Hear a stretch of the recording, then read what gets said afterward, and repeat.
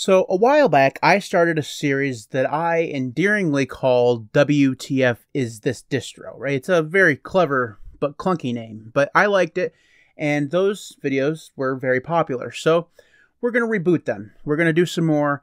And the way I decided to do it this time is instead of looking at the newly released or newly announced update page of DistroWatch, I went and hit the random button. Now, I had some rules. Uh, it can be a popular distro, obviously, so one of the first distros that came up the first time I hit the random button was Pop! OS. That wouldn't make an interesting video. So I hit the button again. And I was given a distribution that I had never heard of before, which is kind of the point of the series. So today we're going to be asking the question WTF is Snal Linux. Now, I had never heard of this, obviously, and I had no clue what it was. So I read the DistroWatch page, and even after reading the DistroWatch page, I still really had no clue what it is. Other than I know that it is based on Arch Linux. It comes with the i3 window manager, so that's an interesting plus in my opinion, and that there is apparently no way to install it. Now, there are a ton of live ISO, live DVD type distributions out there that are not meant to be installed. So that's not really all that impressive or unique. So it's definitely something that, you know, has been done many times before. But what I haven't been able to find is a mention anywhere where it says that Snal Linux, if I'm pronouncing it right, is persistent. Now, if you don't know what that means, let me explain. Persistent simply means that you have a live ISO where you can do your work in, and when you shut it down, it saves everything to the USB drive that you're using instead of to the hard drive. That means when you come back to the live session, all of your stuff is still there. That's what persistent means. Now, many distributions have persistent modes. MX Linux is one of them. You know, there's Slax, I think, is another version of Linux distribution that has persistence. Snal Linux doesn't seem to have persistence, which doesn't make much sense to me given that it's a live ISO. So what's the purpose of it, right? The problem is, is like a lot of the distros that I've covered in this series before, well, it doesn't have, you know, a very good website. And their website is on SourceForge. And if you have followed my channel at all, you'll know that I absolutely despise distributions that don't have their own website and only use SourceForge. I can't stand it. Like I understand the idea that domains can be expensive. They're like $10 a year, right? And not everybody has $10 a year that they can put on a domain. And, you know, websites are expensive. So I understand that. But, you know, like GitHub and GitLab have free pages. You could make one of those, you know, so it's not as if you have to use money, but I'm not going to, you know, just, I'm going to calm down about that. And we're going to look at the quote unquote website for Snal Linux. And this is the biggest problem I have with this entire distribution. There's hardly any information here. Now, they do have a wiki. The fact that SourceForge even offers this feature is just still really weird. And there is not a ton of information on the wiki. There's exactly one page. That's it. Now, there are other quote unquote pages, right? But it just shows you the build process and, you know, a, little blurb about wireless networking if you don't know how to connect to the, to the Wi Fi. Other than that, everything is on the wiki home and this does come included on the ISO itself, so if you need to reference this, you can.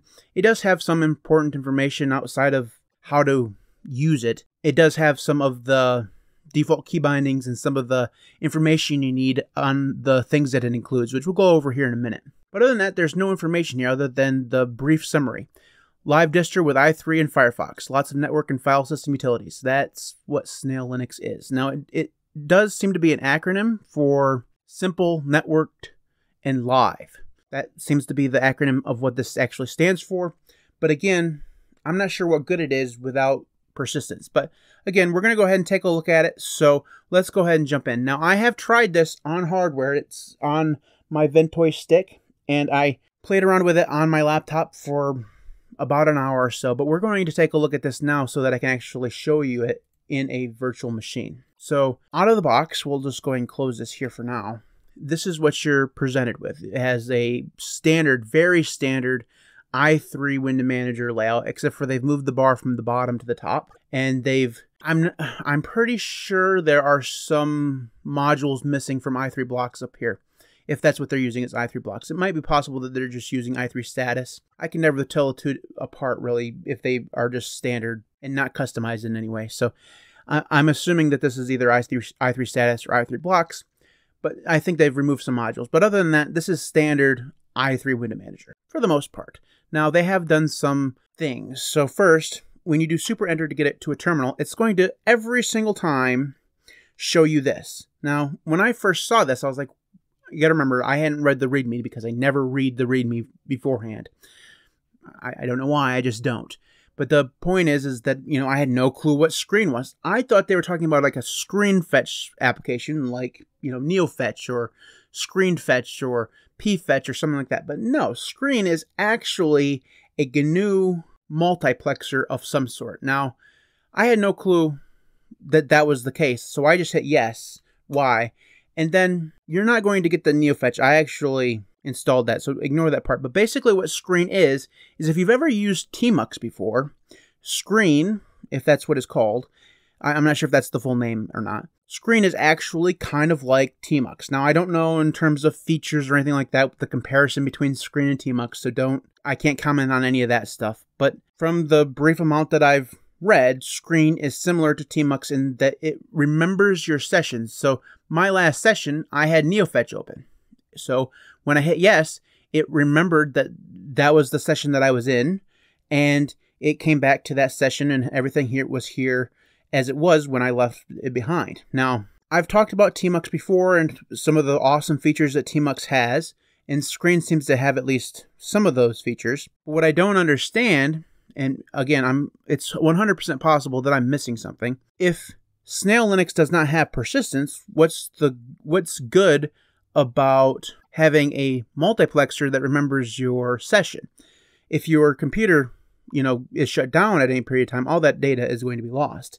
Now, it's possible, again, that I'm just missing something because there's no documentation here. Like I said, there is a README here. So if we vim into re- to the README, like so, it basically tells you everything that we just saw there on the website. So I actually didn't show you this on camera, but when you first boot into the live ISO, there's no display manager. It just asks you, would you like to start X, basically. So if you've never used start X before, you might be a little bit lost. Basically, start X just means that it's going to start X server and whatever script that is set for X server to launch a window manager or whatever. In this case, it's going to be starting i3. Now, it does have some options which I never played around with, but Y will just start X with an i3 window manager. Uh, N will run as a bash shell, so it'll just keep you into TTY. S will attach an existing screen session or start a new one. And X will join an existing screen session. Now, what I'm wondering now is if this S and X part is going to be the persistent thing that I'm missing. So I'm going to go check that right now because I missed that earlier. Give me a second. Now I'm not going to be able to test, I don't think I'll be able to test it in the VM, so I'm going to go back to the laptop. So to answer my own question, S and X do not seem to do anything in terms of start X. What they actually do is start a bash session of screen, which is that GNU multiplexer that I mentioned before. So when it says screen session, it's not talking about a Xorg screen session. It's talking about a screen session as in the multiplexer, as from what I can tell. Now, again, I might be missing something completely. It's 100% possible. Again, there's not a lot of documentation here. I haven't spent a lot of time with it, so I could be making a you know a mistake here. But from what I've seen so far, persistence has nothing to do with those things. So, back to this little bit of documentation. Everything else here is about standard key bindings that you'll see in i3, what they've set up. Now, you would you'd never actually have to have these because most of the, the key bindings are on the wallpaper. Now, I'm I'm pretty sure that that's actually just on the wallpaper and that's not actually a conky of any kind. I'm pretty sure it's just you know, like on the wallpaper. If we open up this and then go into .config and go into i3, so they are using i3 status, so that's good to know. And we do an ls here and vim into config. So this is the i3 configuration file. So it does set a background, it sets the screen blanking, which is for like turning the screen blank after a certain amount of time. Sets the, starts the screen locker, which for whatever reason they went with X auto lock instead of i3 lock, which is an interesting choice. And then we got the fonts and some uh, the key bindings here and the rules and stuff. Just a very standard i3 configuration file. There's not much more here to go over. So in terms of the i3 configuration file, it's very, very, very standard. So the last thing we probably should take a look at are going to be the pre-installed applications. And here's where I have another bone to pick. They use Rofi for their program launcher, which is fantastic. I love Rofi. Rofi is what I use. But they don't use drun. Now, if you've ever used Rofi before, you'll know that Rofi has many different modes. The two probably most prominent ones are drun and run. Now, the difference between drun and run is that drun only shows your installed applications, whereas run literally shows everything. And by everything, I mean everything. Every single package that you have installed on your machine is shown by the run mode of Rofi. Terminal applications, dependencies, everything. And, and you can see that because there are 319 entries here. Now, that doesn't mean there are 319 packages on Snal Linux. There's not actually that. Instead, you can see if we go to NeoFetch here, there are actually 153 or so, which is still pretty high for a bog standard Arch Linux installation. Usually it's around 600 or so, uh, even with a window manager installed. That's usually 600 to maybe 700 or so. So it's a little high, not a ton high. I mean, obviously there's there are distros out there that have way more packages, but that does seem high. But my bone here is that by showing the run version of Rofi and showing all of the packages and all of the scripts and everything that comes on the system inside here, it makes it astonishingly hard to see what's actually installed in terms of you know applications. So I'm going to get out of that. I'm going to do Rofi dash show drun and we'll show you the installed applications this way because it's just way, way easier. So it comes with Avahi, the server browser for VNC. It comes with uh, Dillo, which is a web browser. I had no clue what that was. I opened it up, and if you open this up, that's what Dillo looks like. If you go to an actual website, which is, if you want to laugh, uh, cast.org, you can it does go there eventually, but man, does it not render things properly. uh, I'm not sure why this is installed. To be honest with you, it's really really weird. It doesn't seem useful whatsoever. But then I don't know. Maybe there's some kind of weird uh, web dev use case for a, a browser like Dillo before. You know, maybe I don't know. It doesn't really matter, but still, it's it, it's it's a weird inclusion. It has DOSBox, eLinks, which is another web browser, which I believe this is a terminal based uh, browser. So if we go to the linuxcast.org on here, we'll see that it does in fact show you the linuxcast.org uh, in a web browser in the terminal. I've never heard of elinks before. I've heard of links L Y and X before. So that's another one that is I've never heard of, which is interesting. Eh, you're going to see a pattern here. There are at least four browsers installed. So there is Dillo, and then there's the one that we just looked at elinks. And then there's Firefox, just normal Firefox. HTOP is installed, LX Terminal, which is the terminal they use by default. Micro is installed, Vim is installed. I'll show you that. You've already seen that. Midori is another web browser. So this is what Midori looks like. I believe Midori is a offshoot slash some kind of fork of Firefox. Not sure if that's true or not. It, the only reason I say that is because it looks kind of like an old version of Firefox. Uh, that doesn't necessarily mean that it is, but it looks like a more modern browser than Dillo. So there's that. We'll go. We'll scroll back down here. It does have some of the XFCE based applications. So uh, preferred applications. This thing here is a XFCE dependency, so that'll allow you to set your default applications. Another one of those is the desktop preferences, which uh, doesn't seem to actually work. Uh, maybe that's for PCManFM. From what I'm seeing, the warning that's for, for PCManFM. PCManFM is installed. That's the file manager. That's an okay selection. I personally don't like PCManFM, but a lot of people really, really do. So uh, I'm a Krusader guy, if you didn't know that. So there are some VNC stuff here. There's uh, there's Rofi, obviously. Rem- Remmina is a remote desktop client. There's a couple of those. So there's multiple different VNC things here. Uh, probably great for system administrators because system administrators use VNC stuff all the time. So that that'd be good that they have all that stuff installed. Uh, VLC and MPV both installed. So we're coming up on some duplication of effort here. We got two different video app, you know, applications, but you know, I have VLC and MPV both installed on my system as well, so it's not that big of a deal. They have X Screensaver here. Uh, Vim is obviously installed. Xterm is here. LFTP, not sure what that is actually. Never heard of it. NNN and Ranger are installed, and another browser, qutebrowser installed. So there are multiple browsers.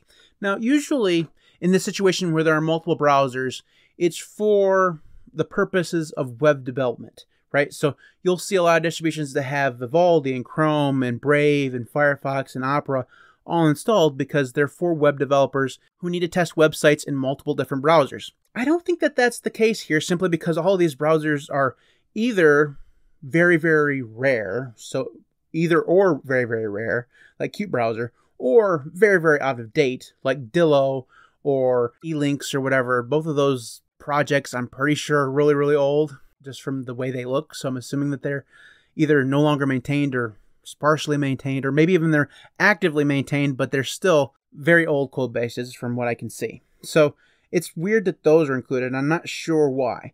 Like the VNC stuff makes sense. If this is for system administrators, all that stuff makes sense to me. I'm not sure what really old browsers would do have to do with system administration though. I'm not a, a, system administration guy, so if you are, maybe you can tell me why this distribution has all these really old ass browsers. Eh, maybe there is a good reason, and I just don't know. So that's all the installed applications that come with Snal Linux. There's not a lot of stuff here. It's very lightweight. The ISO weighs in at a at 1.5 gigabytes, so it's not the least. You know, it's not the smallest ISO I've ever seen, but it's also not you know giant or anything. So if that matters to you, 1.5 gigabytes the big thing that I have here, and that really that's all there is to Snal Linux as far as I can tell. If you're going to use this, just a couple of notes. The user password is SNAL, just like the distro's name, and the root password is root. So if you need the passwords for any situation, which you probably will if you want to install things, that's what the passwords are. And you can obviously change those passwords if you want. The problem comes back to, and we're just going to go ahead and wrap up here.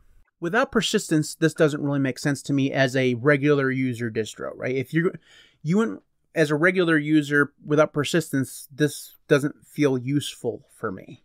Now, as a system administrator, when you just might need to carry a Linux distribution with you and it doesn't really matter, you know, what's on it, it just needs to be able to boot into an X session so you can do things. This could be useful. It's not going to save anything. You're not going to have anything be able to save to the disk as far as I can tell. But if you're in a situation where you just need a workable environment that has the standard things on it, a browser, access to the internet, a terminal, if that's all you need, this could be useful for that type of situation. Outside of that situation, though, not quite sure why this distribution would be useful for very many people. Now, all that being said, that doesn't mean that it's bad. Uh, I love i3 Window Manager. I think more distributions should have i3 as the thing. And this has i3 as the thing, which makes me happy about it. Uh, I, and they haven't cocked it up. They, you know, they have kept the standards for the most part. So if you are used to the default i3 configuration file, for the most part, all the standard stuff is here. And obviously, it's very, very easy to configure if you wanted to use that. It's a very good distro that I don't really understand. And that's kind of where I'm going to leave it. There's some, definitely some things here that I feel like I'm missing. So if there is persistence, if you guys, if anybody in the comments ha- has used Snal Linux before and there's persistence and I just missed it, let me know because I'd love to actually go back and use it properly if, if that's the case. Other than that, that was Snal Linux. Who is this for? I would say it's for people who just need a dis- Linux distro in their pocket without any of the necessitation of persistence. So if you don't need persistence, but you need a Linux distribution in your pocket on a nice on a USB key somewhere, it's a good option. It it has Arch Linux. It, you know, I didn't show you any of the Arch Linux stuff because you know it's Arch Linux. If you've seen them one, you've seen them all. But because that's the case, you can install things like Yay or Paru and have access to the AUR. If you needed specific applications just for that one time of running the ISO, you could you can install whatever you want on there. You just can't have it remember that those things are installed as far as I'm aware. So that's Snal Linux. If you have thoughts on this, you can leave those in the comment section below. I'd love to hear from you. You can follow me on Mastodon or Odysee. Those links will be in the video description. You can support me on Patreon at patreon.com slash linuxcast. Links for LiberaPay and YouTube will be in the video description as well. Thanks everybody for your support and for watching and all that stuff. Thanks to everybody who does support me on Patreon at patreon.com slash linuxcast. Did I mention that? You guys are all absolutely amazing. I totally messed this ending up, and I don't know where I went wrong. It's okay. Uh, anyways, thanks for your support. Thanks everybody for everything. Just thanks so much. I've lost my bloody mind. I don't know what's going on anymore. I might as well retire. Good lord. What? the problem here is that it's like 9,000 degrees in this room because it's 80 degrees outdoors. And goodness me, it's like April. Anyways, thanks for watching. I'll see you next time.